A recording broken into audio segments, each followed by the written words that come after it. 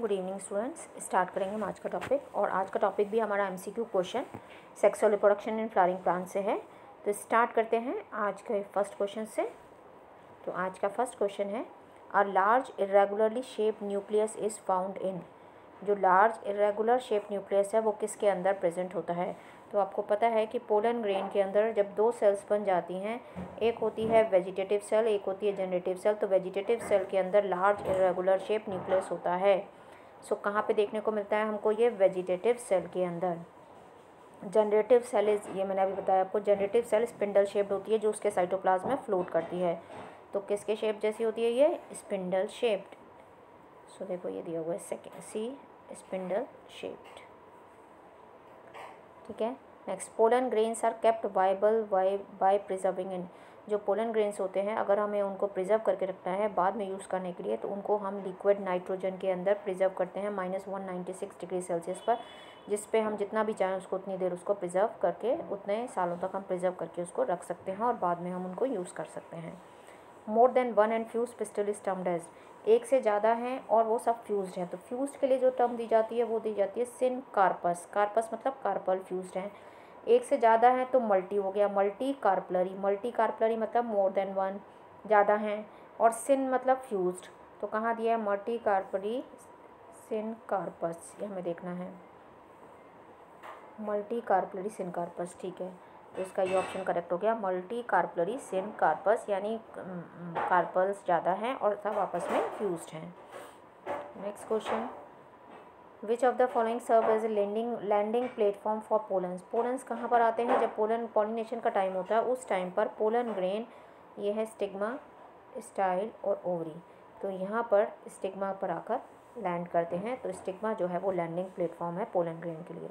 The ovule is attach to the placenta by means of यहाँ पर जो ovule है, मान लो ये ओव्यूल प्रेजेंट है तो ये ओव्यूल किससे अटैच रहता है? इसको हम बोलते हैं फ्यूनिकल फ्यूनिकल से अटैच रहता है। तो उसकी जो डंडी है वो कहलाती है फ्यूनिकल फ्यूनिकल से अटैच रहता है।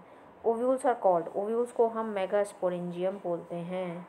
सो so, ये हो गया इसका मेगा स्पोरेंजियम ठीक है? सी ऑप्शन करेक्ट हो गया। Next question the tissue enclose within the ball of megasporangium is called enclose है ये कि जो मेगा स्पोरेंजियम के अंदर यानी ओव्यूल के अंदर जो टिश्यू प्रेजेंट होता है उसको हम क्या बोलते हैं? अगर आपको ओव्यूल का स्ट्रक्चर याद है इस तरह से यहाँ पर। तो यहाँ पर जो टिश्यू प्रेजेंट होता है, उसको हम बोलते हैं nucellus so nucellus tissue जो है, वो इसके अंदर प्रेजेंट होता है। तो हम ऑप्शन देख लेते हैं। स्पोरोजन न्यू सेलस तो इसका ये ऑप्शन करेक्ट हो गया न्यू सेलस ठीक है? जहाँ से एक मेगास्पोर मदर सेल बनेगी एक सेल माइक्रोपाइलर एंड से बिहेव करेगी as a megaspore mother cell the development of the embryo sac from a single megaspore is called megaspore megasporogenesis जब होती है तो उसमें फोर मेगास्पोर्स बनते हैं, जिसमें से तीन डीजनरेट कर जाते हैं और एक फंक्शनल होता है।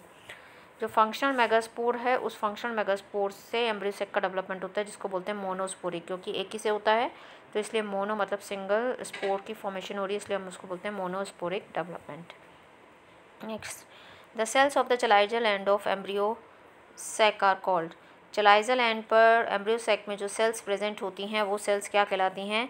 एम्ब्रियो सेक के अंदर जो चलाइजल एंड पर यहाँ पर जो तीन सेल प्रेजेंट होती हैं, उनको बोलते हैं हम एंटीपोडल सेल और यहाँ पर होती हैं सिनर्जिट और एग, ठीक है? तो antipodal cell. Light and non sticky pollen support, जो लाइट और नॉन स्टिकी पोलन ग्रेन होते हैं, वो किसमें होते हैं? तो वो होते हैं जो विंड पॉलिनेटेड फ्लावर्स होते हैं। तो उसको हम बोलते हैं एनीमोफिली एनीमो मतलब जो एयर से होने वाला पॉलिनेशन है। ठीक है? उसको हम बोलते हैं एनीमोफिली दो आप याद रखो एनीमोफिली हाइड्रोफिली और एंटोमोफिली एंटोफिली मतलब इंसेक्ट से होने वाला और एनीमोफिली मतलब जो एयर से होता है और हाइड्रोफिली मतलब जो वाटर से होता है। Pollen grains are protected by mucilaginous covering in हमने देखा है जो वाटर के अंदर होते हैं जो पोलन ग्रेन्स उनको प्रोटेक्ट करने के लिए उनके चारों तरफ़ एक म्यूसिलेज की कवरिंग होती है ताकि वो ख़राब ना हो। तो कहाँ पर आ जाएगा ये? हाइड्रोफिली यानी वाटर से जिसके अंदर होता है। Which of the following is true triple fusion is equal to double fertilization syngamy नहीं। ट्रिपल फ्यूज़न होता है। देखो, यहाँ पर ये प्रेजेंट है एक एग यहाँ पर ये एंटीपोडल सेल्स हैं। और यहाँ पर ये पोलर न्यूक्लियाई है। अब मेल गैमिट आता है। एक इसके साथ फ्यूज़ होता है, एक इसके साथ फ्यूज़ होता है। ठीक है? तो ट्रिपल फ्यूज़न होता है ये। दो पोलर न्यूक्लियर पहले से थे, एक मेल गैमिट आ गया। ये मेल गैमिट है, ठीक है, ये भी मेल गैमिट है। और double fertilization is equal to triple fusion syngamy ठीक है। सिनगेमी मतलब फ्यूज़न ऑफ़ ये है syngamy fusion of male gamete and female gamete और डबल फर्ट है ना? और तो दो बार फर्टिलाइजेशन हुआ, एक बार ये हुआ ट्रिपल फ्यूज़न एक बार हुआ ये। तो double fertilization is equal to triple fusion plus syngamy ये ट्रिपल फ्यूज़न हुआ और ये सिनगैमी हुई, यानी fusion of male and female gamete तो बिल्कुल सही है। Next question fruits produce without the process of fertilization is वो फ्रूट्स जो विदाउट फर्टिलाइजेशन डेवलप होते हैं, उसको ध्यान रख लीजिए उनको हम बोलते हैं पार्थेनोकार्पिक फ्रूट ठीक है? जो विदाउट फर्टिलाइजेशन डेवलप हो रहे हैं, वो पार्थेनोकार्पिक फ्रूट्स कहलाते हैं। Next the fusion between male gamete and secondary nucleus gifts. अभी जो हमने बताया था, मेल गैमिट और सेकेंडरी न्यूक्लियस का जो फ्यूज़न हुआ था, उससे क्या बनता है? अभी जो मैं अभी आपको बता रही थी, इस तरह से यहाँ पर जो दो न्यूक्लियस थे, पोलर न्यूक्लियस और एक मेल गैमिट फ्यूज़ हो गया था। तो ये जब तीनों फ्यूज़ हो जाते हैं तो इससे बनता है जो न्यूक्लियस, उसका नाम है प्राइमरी एंडोस्पम न्यूक्लियस पेन। तो एंडोस्पम डेवलप होगा इससे। The typical mature embryo sac of flowering plant is ये कंफ्यूज करने वाला क्वेश्चन होता है बट आपको ध्यान रखना है कि ये seven celled eight nuclear structure है तो आप कंफ्यूज नहीं होंगे। Seven celled eight nuclear structure ये भी हमने देखा भी है, देखिए। यहाँ पर ये तीन सेल हैं, उसके बाद ये दो सिनर्जिड हैं, एक एग है, और ये सेंट्रल सेल है। तो सेल कितनी हो गई? One two three four five six seven और न्यूक्लियस कितने हैं? एक, दो, तीन, चार, पाँच, छः, सात, आठ। Seven celled eight nucleate coconut has nuclear endosperm cellular endosperm both A and B दोनों ही होते हैं। इसका मतलब बोथ ए एंड बी हो गया, क्योंकि जो फ्री न्यूक्लियर एंडोस्पम होता है, और फिर सेलुलर एंडोस्पम तो दोनों ही होते हैं। Free nuclear and cellular endosperm so both A and B which of the following is true for typical bilobed angiospermic anther four theca and four sporangia क्योंकि आपको पता है कि दो होते हैं, इस तरह से स्ट्रक्चर होती है इसकी।